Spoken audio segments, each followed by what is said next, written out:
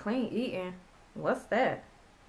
Uh, well, I heard it was some kind of diet, and I'm supposed to go out and spend all my money on like all this bland food, and anybody got time for that.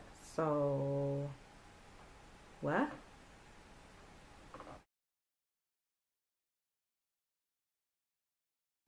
So, what exactly is clean eating? Well, I'm going to read it to you. Says clean eating is a dietary approach that advocates consuming food in its most natural state. Uh, the benefits of clean eating include weight loss, increased energy, and all around improved health. There is no singular definition for clean eating, which often leads to confusion about the practice. Um, I don't necessarily think it's a practice. I just think, you know, it's it's um, so much stuff in food that you know it's probably better to try to eat things in its natural state. So in its natural state would be more like saying, um, how I've even heard people say, don't uh, go with apple juice. You're better to eat an apple than apple juice because of the process it goes through, even though it's still natural, um, which I'm not there. Or um, uh, like the boxed fish. I was looking away, not at something, but thinking um, like boxed fish sticks, like it, it probably would be better to, according to the clean eating, to make my own fish sticks instead of going with Tyson or something like that. So that's pretty much what um, clean eating is, and an easy way to, um, if you're just starting out and you want to get, you know, you say you want to get started, where where can I start? Um, I would start with your like your fruits and vegetables. Try to or when you're at the grocery store, try to shop the outer aisles first and then do the inside because when what I mean by outer, you have your well most stores have their fruit and their their produce section and then your meat and then um, produce, meat, uh, help me Lord.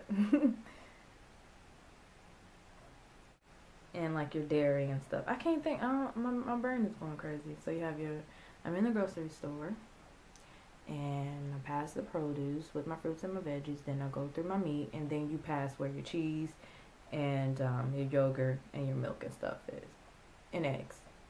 Eggs are very important. Um, so you would start there and see what you can do in your price range.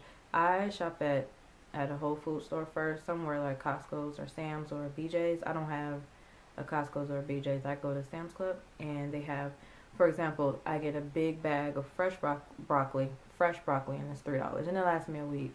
Um, and I also get green beans from there, and they're like two bucks. So I would start there first with your fruits and your vegetables and whatever you can get. You just want to kind of, if you, you know, when you're serious, you'll sit there and you'll do your research. So this is just kind of like a, a crash course, so to say, so to speak. So you go in, you get whatever fruits and vegetables you like. Um, or if you feel like the prices of the fresh vegetables are too high, then go with frozen. And I mean, frozen, to my understanding, the vegetables are fro. They're um. They're flash frozen, meaning they're they're boiled or whatever to keep the color, and then they're immediately frozen. Um. So and those are picked when they're ripe too. So pretty much they're frozen when they're ripe. Um. So that's a good that way to continue to have your fruits and vegetables. And then if you absolutely can't do frozen, um, then as a last resort, I would do canned. And when you do canned, you want to make sure that it's reduced or no sodium. Um, some other things that you can pick up to start out your your uh, cleaning new pantry would be like beans, black beans, pinto beans, kidney beans, stuff like that. And like I said, when you do the beans, you want to make sure that it's reduced sodium or no sodium at all. Or if it does, then you just want to rinse them off. Same thing with the vegetables. If you can't find it, sometimes it's cheaper if it doesn't say no sodium. But when before you use it, just make sure you pour all the little juice out or whatever it's called and run run some water over it. Um, so that's pretty much where I started with the fruits and the vegetables. The um, brown rice is um, pretty reasonably priced, and then I switched from whole grain uh, pasta. I mean, to whole grain pasta, and, and whole grain pasta is now like a dollar. Um, and so from there, then that's where you build your recipes. And I get my recipes from places like allrecipe.com or in, in Pinterest because Pinterest or even just do like a random uh, Google search for um, like one day I wanted some soup and I had uh, what was it? I had some butternut squash and some avocado. So I just put in butternut squash and avocado soup, and it came recipe came up, and I made it, and it was good. Or or sometimes I'll see a recipe and I'll change it. Like you'll find stuff that has um, there was something I just made and I changed it. I changed something up. It called for like a different kind of bean and I didn't have it. Or it called for a seasoning that I didn't have and because I'm kind of familiar with the seasonings now, I switched them up. So I think you have to be creative and if you're willing to, some people say, well, you know, the whole losing weight thing, I don't really feel like changing it up, then that's not, if it's not, it's not for you.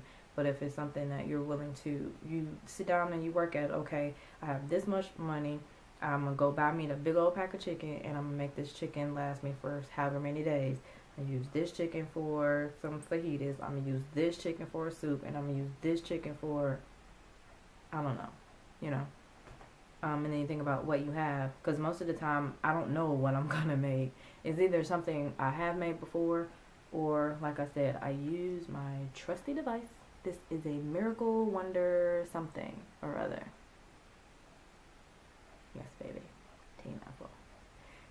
Um, so there, I think I went over to what clean eating was, um, where to start with, you know, what to get, and then how to get your recipes. Another thing, so that your food is not bland, look for um, spices. Not necessarily seasoning like seasoning salt and stuff like that, but spices. You know, you have it. Just experiment. Get some curry powder there's uh, chili powder, um, or you'll have these little seasoning blends like rubs and stuff. But you still want to check the sodium when you do when you do those. Um, Mrs. Dash, I think, is always no sodium. Um, what else do I have in there? Just random pepper, or when you cook, make sure you always have. I always cook with onion, garlic, and bell pepper. Um, I think that's it. So to keep your food from and not eating the same thing. Use your Miracle Wonder device and search. Pinterest is my best friend and All Recipe is my best friend. Um, I will put the links to both of those in down below. Um, and um, and I think in the next one, the my next video, I will show how I go start to finish, even brainstorming and everything with what I have in my fridge. And most of the time, it's the same unless I find something on sale then I'll change it up so oh I believe that is it I don't think I talked about the meat but that's pretty self-explanatory. Um, I don't eat pork a whole lot but it's not like it's uh, a no-no. Um, I most of the time I do chicken and turkey and fish. I don't really eat a lot of beef and I don't eat a lot of pork. Unless like it's a cheap meal and I really want like a real burger because sometimes ground turkey is too dry.